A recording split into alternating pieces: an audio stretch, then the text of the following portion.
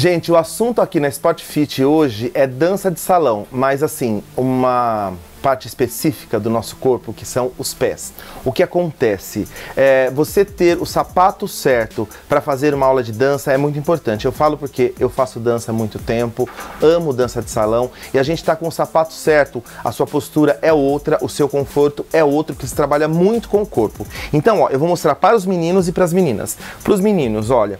Sapato de dança de salão, o que acontece? É um sapato muito confortável, o couro é muito macio, tem com o bico mais arredondado ou com o bico mais fino. Esse salto aqui, ele deixa uma postura muito legal para o homem, porque dá essa levantada, né? Então a gente consegue ficar com uma postura melhor.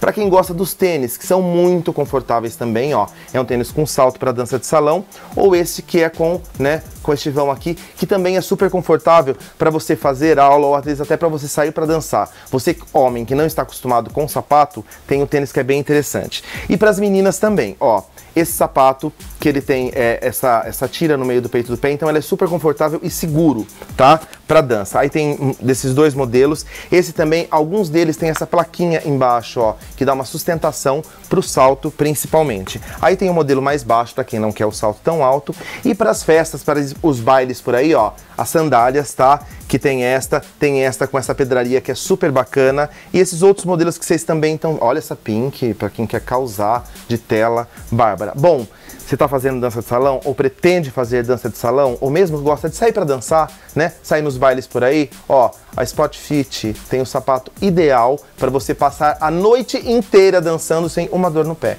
Então, ó, ouve uma dica porque disso eu entendo. Spot Fit.